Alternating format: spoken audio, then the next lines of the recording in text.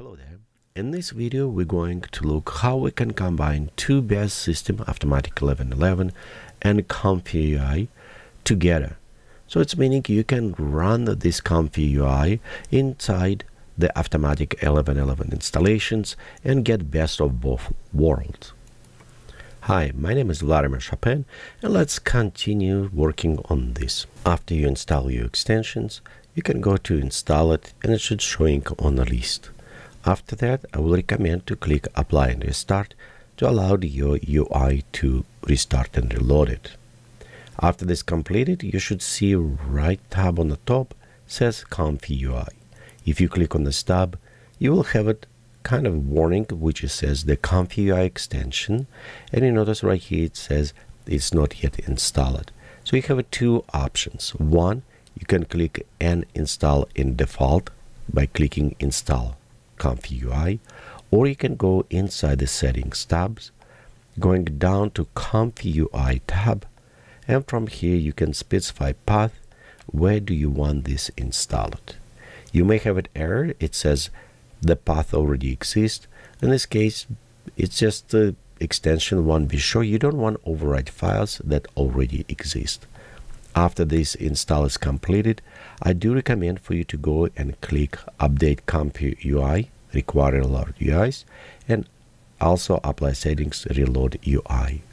I think the Reload UI little bit misleading word because it should says after this Restart UI, and this will make different because reload you can just reload the interface in a browser, but restart it's meaning you need go ahead and take the server that you're currently running, closing, and restart that server. After your installation is completed and you click on restart server, let's see what will continue doing. Right here you can notice it's downloading all necessary things that is in your configuration file and it will start running on your local, your usual automatic 1111 installation. But if we continue down, you'll notice right here, Comfy UI start initializing and start loading. Similar ways if you run it on its own. If we're going down below, you'll notice right here at this point, it's actually launched by itself. And it is showing you that actually running as a standalone. So it's meaning you can access directly from this port to the Comfy UI and here is running as a standalone. But again our interest was running inside the Automatic 1111 and for this reason we can go back to our interface click on Comfy UI tab and you notice right here we have exactly access to same same interface. And it's meaning in this way you can execute and launch um, UI stuff inside the Automatic 1111. So let's just go ahead and queue the prompt. Please keep it in mind that because it is running as a separate server, not all settings and all locations for the render images and other things are shareable.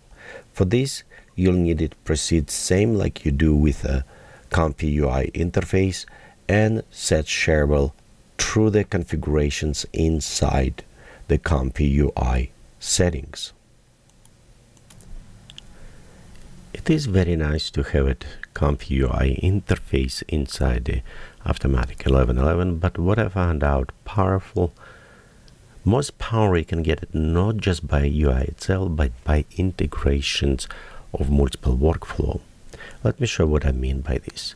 For example, if we're going to text to text.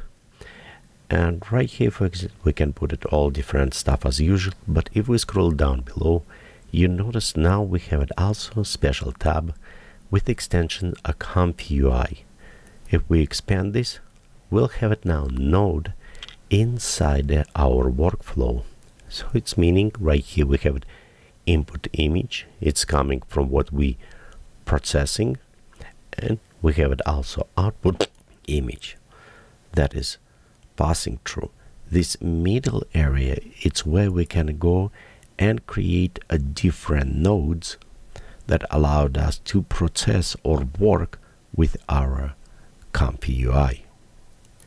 And if you notice from nodes, it's got access to everything. So you can even create your own additional stylization, another LoRa, another model, another preprocessor, conditioning, image, everything. So you can create very complex uh, path inside here, workflow, and apply its workflow from post-process image to another image out.